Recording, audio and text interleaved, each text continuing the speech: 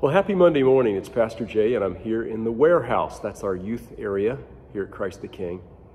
And one of the biggest challenges that you always have with youth is to let them know that they're loved, to let them know that they are valuable. I mean, they haven't proven themselves yet. They don't have jobs. They, you know, they, they don't have any assets. They, you know, they're just coming at it for who they are. And, and I, I think it's a shame that a lot of times in life we, we judge ourselves by what we have and by what we do.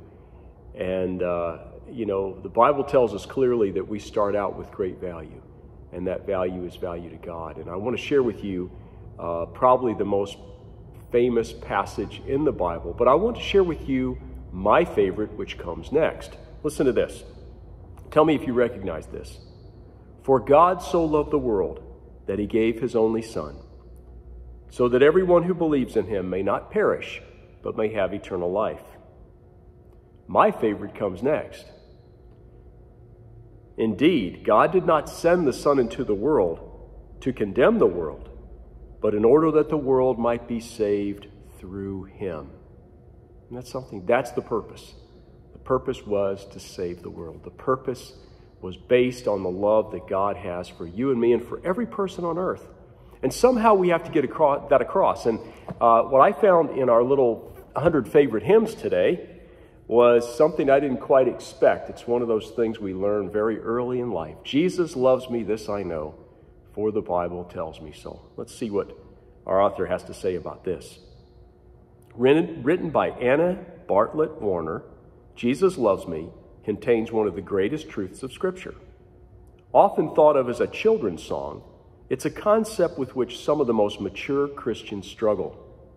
The idea that Jesus could love us so much that he gave his life for us is mind boggling. Yet, when understood and internalized, it has the power to change everything. Isn't that the case? You think about in your life, uh, when you know somebody really loves you at your worst, at your best, at all times, it gives you the courage, it gives you the strength to live. And, and that's what we know about our Heavenly Father. And so she continues Jesus openly declared his love for his disciples in John 13 34. He instructed them to love each other as he had loved them. Jesus went on to describe his love for them as being the same as the Father's love for him. That's John 15 9. We can't even fathom the love of the Father for the Son. Then Jesus proved his love for us by laying down his life on our behalf, which he described as the greatest love of all. John 15 13. Jesus loves us. How did Warner know that Jesus loved her? Did she hear an audible voice? Was it spelled out in the clouds?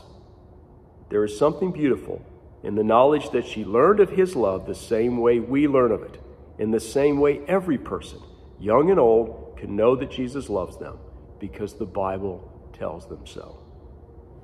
The Bible is one long love letter from God to his children. We have the luxury at any point in time to open up the pages of Scripture and remind ourselves that Jesus loves us. We can know that it's true because the Bible tells us so. Isn't that something? We can open the scriptures at any time. And I think that's another thing that throws people off is they go into the scriptures and they don't see it as one big story from creation all the way to the end of time. And so they get stuck in one area.